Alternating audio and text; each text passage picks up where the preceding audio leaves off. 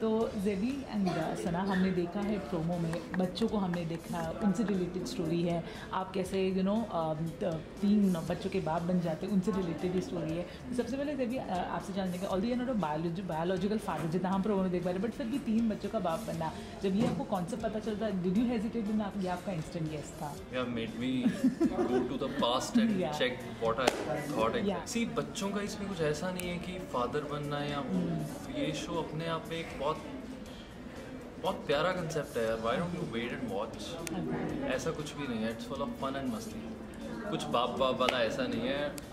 युवान युवान का टशन रहता ही है थ्रू ओके ओके एंड आप दोनों से की बात की जाएँगे। कि जब आपका मॉक टेस्ट हुआ है जब आपको पता चला you know that you people eventually भी बहुत ज़्यादा सीन्स नहीं हुए हैं आप दोनों के बट जब यू नो इवेंचुअली आपके रोमांटिक ट्रैक आएँगे तो फ़र्स्ट इंप्रेशन बेसिकली क्या था? जो भी था आपका फ़र्स्ट इंप्रेशन आपसे स्टार्ट करना चाहेंगे। फ़र्स्ट इम्प्रेशन ऑब्वियसली क्या झूठ क्या बोलना वैसे हमारे जो ज़ुबान है वो हाँ। ऐसे सिर्फ़ रियल लाइफ में हॉट नहीं रियल लाइफ में भी हॉट है क्यूट है और obviously good looking guy why would you feel bad Yeah. so I felt great Yeah. and um, so we've met uh, we keep meeting on set also and uh, we gel really well I think I have a good bond with him so I'm really looking forward to do a lot of scenes with Yuan not just uh, the Nok joke but also romance and uh, yeah it is more over like uh, if you bend if you fold Yuvan in half like if you fold Yuvan I am exactly you'll get Yeah. Sana yeah you'll get Amrit uh, yeah I'm exact half of Yuvan it's like the Amitabh Bachchan and Jaya Bachchan Okay, okay. Maybe the same question to you. Your first impression about Sana? When you met? Uh, मैं actually बहुत emotional हो गया सना की बात सुन के ऐसा ऐसा है। बट हाँ। अब अमिताभ जया वाली- तो अच्छा कुछ कहना पड़ेगा यार शिट खुशी के आँसू। क्या तारीफ़ करूँ यार तेरी? तारीफ़ मत करो फ़र्स्ट इंप्रेशन क्या था सिर्फ़ बताओ। फ़र्स्ट इम्प्रेशन फ़र्स्ट इम्प्रेशन तो एक्चुअली हाँ वी मेट एट वो वाले shoot she is really supportive because I didn't have an idea कि क्या चल रहा है कैसे मैं शूट पे पहुँचा। Were doing mock shoot so she was supportive throughout इसने एक परसेंट भी कुछ ऐसा नहीं किया कि हेलो जैसे लड़कियाँ होती हैं मुझसे शी इज़ गुड दोनों इसमें नॉट रॉन्ग आप दोनों का ही ये पहला कहीं ना कहीं शो है जहाँ पे आप एक्ट करते हैं। तो as an actor and you both are newcomer to you know when it comes to acting तो कितना हेल्प किया आपने कितना एक दूसरे से सीखा है आपने?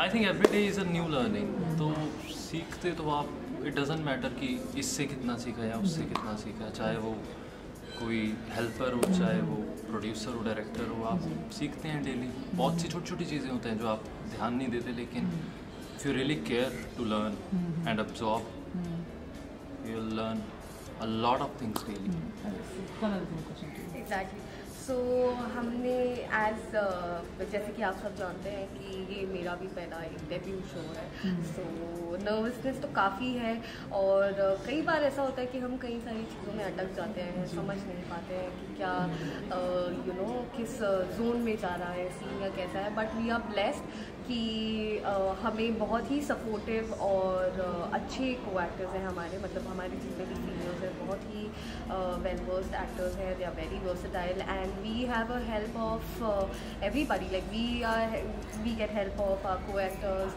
then we get help by our director then we get help by everybody and then एक दूसरे से भी ऐसी काफ़ी चीज़ें हम ऐसे pick up it's give and take yeah so Right, right. when you so it's it's like really fun stuff हमारा सेट पे हम बस सीखते रहते हैं सिखाते रहते हैं ज़्यादातर तो मस्तियाँ ही कर रहे हैं अच्छा जानना चाहेंगे as an actor and as an individual आपके शो से क्या एक्सपेक्टेशंस है सी uh, पहले तो मेरा ऐसा था कि ठीक है मैं शूट एंजॉय कर रहा हूँ I live in the moment but अभी प्रोमो का प्यार देखने के बाद ऐसा फील हुआ कि it's a big responsibility and मेरी खुद से एक्सपेक्टेशंस बढ़ गई हैं। So what I can do is I can work really hard what I am doing right now just looking forward for the feedback Yeah. Of you guys Okay, Sana, what about you? Your expectations from the show?